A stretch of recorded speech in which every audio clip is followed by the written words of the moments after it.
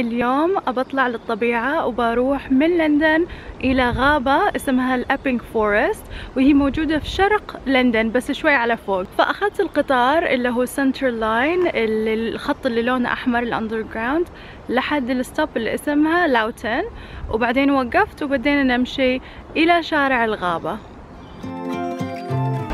وهذه الغابة في النهاية نهاية الشارع. يبغانا نمشي لحد ما نوصل للغابة.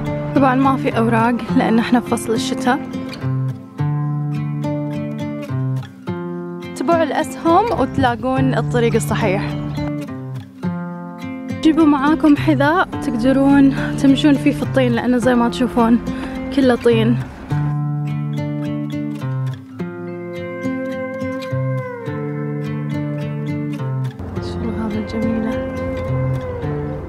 طبعا لو جيتوا فصل الخريف يكون أحلى لأن الأوراق تكون جميع الألوان. أو بداية فصل الربيع لما كل شيء يصير أخضر. لكن أنا بغيت أكون داخل في الغابة وجيت فصل الشتاء. ماذا يحدث ورائي؟ شفت واحد من الفنانين في الغابة قاعد يعبر عن إبداعه وحسيت أن الحركة جدا لطيفة. وبعدين كملت استكشافي في الغابة. الشيء الحلو في هذه المشيات إنه فجأة نلاقي أماكن يعني ما تخطر على البال. زي هذا ال little café original tea hut من 1930 الحين بنكمل على Connaught Water المكان اللي كنا فيه كان High Beach يا حليلهم كلاب هيا بنا.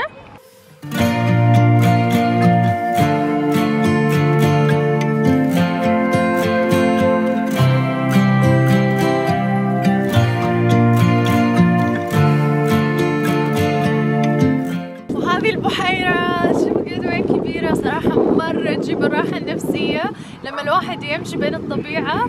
وفي زي ما تشوفون الوزات والبطات وفي بجعة واحدة بس. وشوفوا هالبجعة الشريرة وش قاعدة تسوي. بتقرب للوزة ومسكينة. دفها طالعوا كيف حاطة جوبها وجوب الوزة المسكينة. شوفوا أنواع الطيور الموجودة. أول مرة أشوفهم هذه الطيور. جدا جميلة سبحان الله. يقولكم ال Epping Forest ترى مرة كبيرة. يعني كل هذه تقدرون يعني ساعات تقضون هنا هذا المنطقة اللي بدينا منها Loughton ومشينا داخل داخل داخل لين ما وصلنا إلى هذه البحيرة. وصلنا قاعدين نمشي تقريبا بين ثلاث إلى أربع ساعات. الحين إحنا هني وبنتبع النقاط الحمراء تحت وبنشوف ال Queen Elizabeth Hunting Lodge وبعدين بننزل لين المحطة اللي هي Chingford ولا تنسون تجيبون معاكم وجبات خفيفة عشان لما تعبون تاكلونهم. هذه ال hunting lodge وصلنا المحطة. وهذا يومنا خلصناه وصلنا إلى محطة Chingford وبناخذ القطار وبنرجع إلى لندن. إن شاء الله عجبكم الفيديو ولا, تنسون تسوون like و subscribe وإن شاء الله أشوفكم المرة الجاية.